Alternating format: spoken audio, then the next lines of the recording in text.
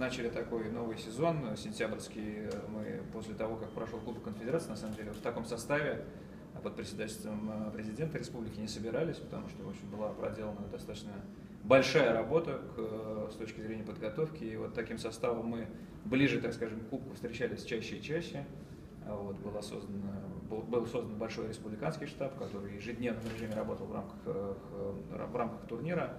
И сегодня мы и подвели итоги, и, соответственно, ну, поговорили, как же мы будем готовиться уже к чемпионату мира по футболу. А если говорить э, про оценки э, специалистов, FIFA, клиентских групп, вообще оценку председателя комитета Виталия Леонидовича Мутко, то она близ, близок, близка к очень высокой вот, всегда есть куда стремиться, но если искренне, то да, турнир удался. А, и удался по всем показателям. Есть ряд, конечно, нюансов, таких рабочих моментов, но в целом все очень довольны и э, с точки зрения как бы телевизионного восприятия, и с точки зрения контента, команды сами, вы слышали те высказывания, которые сделали и, тренер, и, тренер, и тренеры, и легендарные футболисты, которые приехали, в том числе в Казань. Сегодня здесь находится операционный директор комитета 2018, он рассказал в целом, подвел итоги Кубка Конфедерации в стране. Ну, мы сегодня говорим больше, конечно, о Татарстане, о Казани.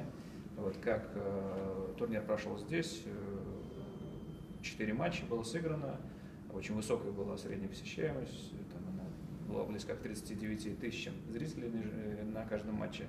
А вот, э, в общем-то, все те уровень, уровни сервисов, которые были организованы для болельщиков, гостей, горожан, в общем-то, были оценены очень высоко.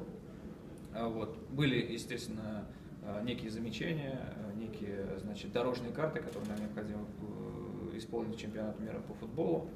Вот. И, э, соответственно, сегодня мы уже вступили в фазу подготовки к Мундиалю, которую вы так долго ждали.